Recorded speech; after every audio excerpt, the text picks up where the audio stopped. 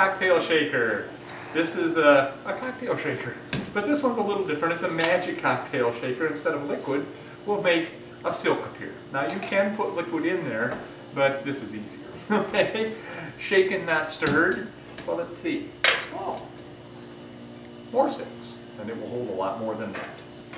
Again, shaken, not stirred. Hmm, I wonder about this drink. I think it has a beautiful bouquet.